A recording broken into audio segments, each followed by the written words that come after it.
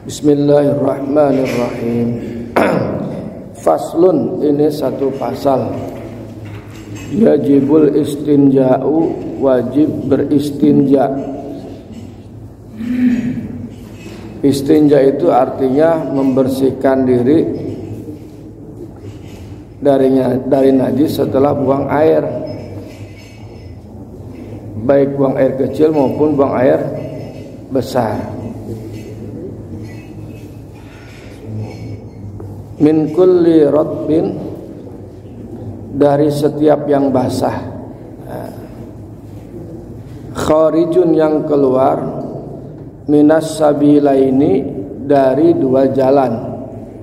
Dua jalan itu artinya kubul dan dubur depan dan belakang. Gairal mani kecuali keluar air mani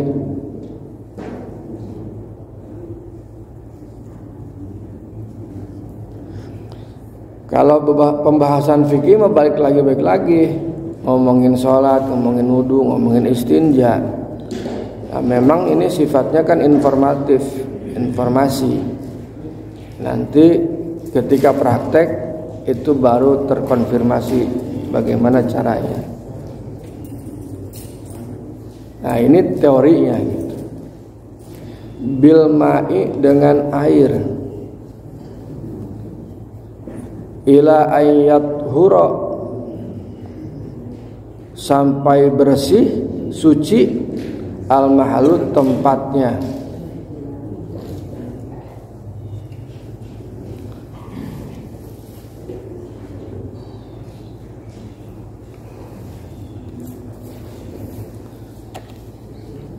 Jadi membersihkan ya suatu yang keluar yang basah ayah anu garing nah anu garing keluar di yang model hitut meureun ya Kentut tuh. Kentut tuh kering. Kalau kentut basah berarti kecepirit. Kalau yang kering mah tuh kentut itu nggak usah dibasuh, nggak usah diistinja. Tapi kalau ada yang basah habis kentut ada yang basah berarti itu keluar. Itu. Nah, baik yang keluar itu yang biasa maupun yang tidak biasa Misalnya kalau air kencing itu biasa, normal berarti. Tapi misalkan keluar teh batu, kan itu biasa.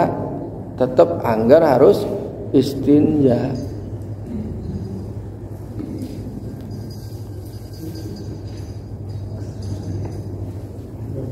Nah, terus keluar. Yang mungkin si Ari teh keluar sih. Ya terus minum teh jadi sarua kejeng teh. Nah kalau air mani kenapa tidak? Kenapa karena air mani menurut mazhab syafi'i air mani itu suci. Karena pibakalen manusia kalau pibakalen manusia dihukumi najis berarti orang teh najis. Dan kita semua ini dilahirkan atas dari setetes air mani makanya air mani mah suci. Nah mazhab maliki mengatakan air mani itu najis tapi tetap harus dibersih. Bersihkan tetap harus bersihkan bilmai dengan air. Sampai bersih. Air yang dipakai adalah air yang suci dan mensucikan.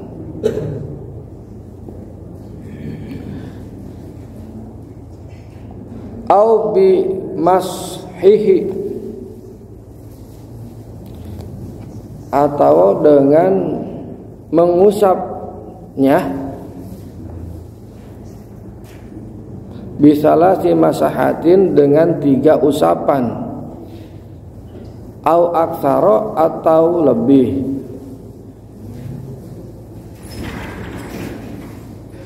Ila ayyanqa sampai bersih al mahalu tempatnya. Wa iyaki wa in baqiya. Dan meskipun tersisa al asaru bekasnya. Biqaliin tahirin. Biqaliin dengan batu atau benda yang bisa mencabut najis atau memindahkan itu najis. Tahirin yang suci jamidin yang padat ghairu muhtaramin yang tidak dimuliakan min ghairi intiqalin dari tidak bertembak.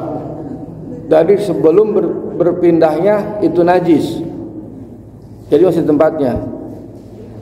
Wa qabla jafafin dan sebelum kering. Jadi istinja itu bisa dengan dua caranya.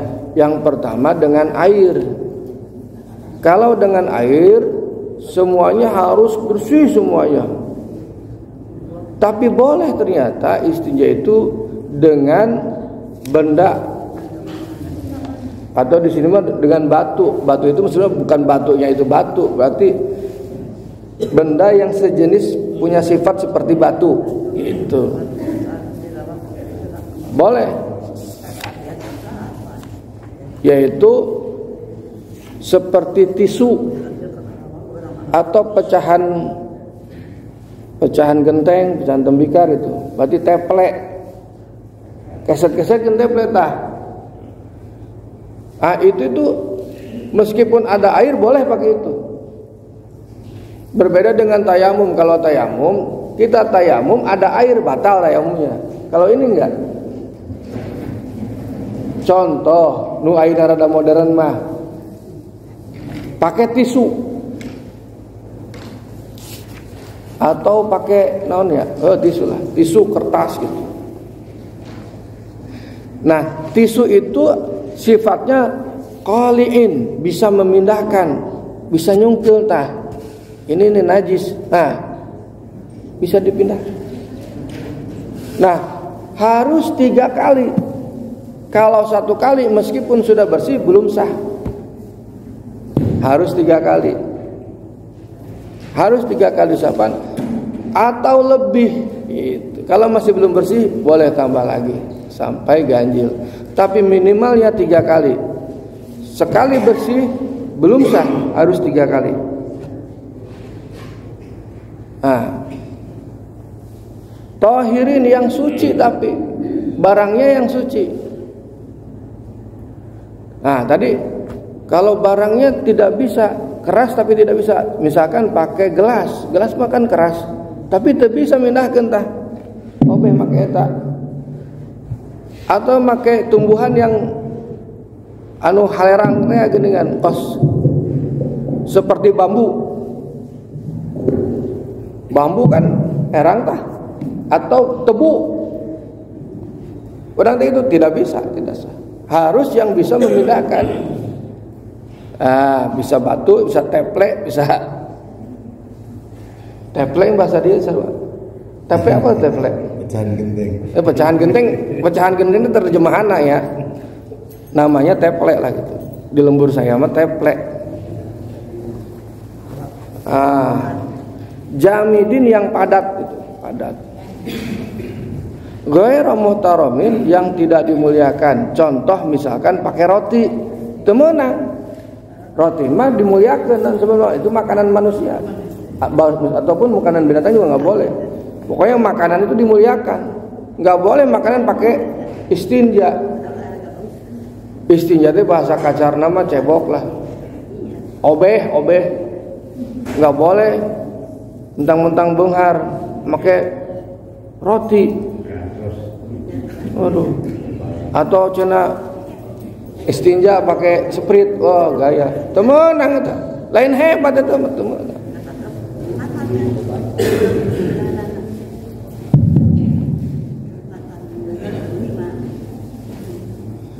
Min ghairi intiqalin sebelum berpindah najisnya. Nah, makanya tidak sah secara hukum obehna pakai tisu basah. Nah, Bu, punten ya. Upami ngobehan kan pakai tisu basah ya. Tesah secara hukum mah. Secara hukum mah tesah. Memang bersih, tapi tesah. Barangna kudu nu garing. Barangna kudu nu garing. Jadi lamun lamun lamun basen teu sah. Jadi kudu tisu tisu nu. Nah, kalau kita pakai tisu tadi itu wa in baqiyal asaru meskipun ada bekasnya itu dihukumi suci. Masih kena rada bau geningan tapi dianggap suci. Berbeda kalau dengan air. Kalau dengan air mah harus bersih pisan. Tapi kami pakai tisu misalkan ayah kene sana sautak sautik lah gitu. Tapi setelah itu sebelum berpindah misalkan pipis kalau pipisnya sudah ucrat acret ya itu mah kudu pakai cai Iya mah tiba ujungna doang ujungna cuma iya. Laki-laki mah ujungna wungkul eta seret pakai tisu hiji piceun. Seret dua piceun. Seret tilu piceun beres. Asupkeun deui contoh kayaan kamari macet ya. Macet ya res area ditutup sadayana. Teka bagian pan. Ya bener tuh. Sok supir mah pasti ngalaman. Supir mah Ek di mana coba? Kencing sudah pengen banget kencing coba yo. Di mana? Di dalam mobil. Diluarkan era banyak orang. Ai kalau supir truk mah biasa sih. Nah gitu. Kan ada model orang mah supir pribadi ya. Nah, itu caranya gimana? Pun pakai aqua, kemudian di mobil kemudian muter ah. Tah pakai tisu bisa kencing, masukin ke aqua caina. Kencing nah ya. Ya punten ya, sanes porno ya. Cuma fakta. Kan fikih itu menyelesaikan persoalan ibadah kita sehari-hari. Yang kita alami sehari-hari. Asupkan tak aqua mantak di mobilnya kudu aya aqua kosong. Asupkan tak ujungnya doang set. Nah, kan kada dipicen langsung dipicen eta ulah disimpen, ini rapi disimpen bajakan ekstra jos. Simpen eh picen sa, ya, picen. Ya sami pas orang ekstra jos gerak. Ah, terus ieu iya, ngisangna kumaha? Ngisangna istinjana kumaha? Anggo tisu seret seret seret tilu piceun. Asupkeun deui ka dinya tah tisuna. Beres, piceun, bersih, Pak. Sah. Tapi kalau apret-apret, ya beda cerita itu mau apret mah. Oh, iya hese lempengna cenah. Ya punten ya sanes porno pak. Kita pasti kalau yang bapak-bapak yang nyupir itu pasti ngalamin. Di mana aja itu pasti ngalamin. Pasti ngalamin itu.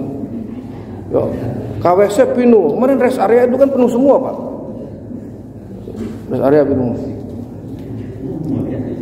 Nah, jadi sebelum berpindah atau misalkan BAB, punten punten. Kalau kita lagi BAB-nya jongkok, BAB-nya jongkok, terus kita berdiri, itu pasti udah pindah najisnya. Karena tuh pantat kalau berdiri pasti nyatu. Nah itu udah nggak boleh, nggak bisa itu, masih harus di lubangnya itu. Jadi sebelum berpindah, ada kuat detil gitu ya ada. Ulama ngajaran kita ini sangat detil ini. Wa qabla jafafin dan itu pun sebelum kering. Kalau kencing misalkan kencingnya masih ada belum kering. Kalau BAB BAB nya belum kering. Kalau udah kering malah ngapain? Kalau udah kering mah harus pakai air. Itu mudah-mudahan ada manfaatnya. Assalamualaikum warahmatullahi wabarakatuh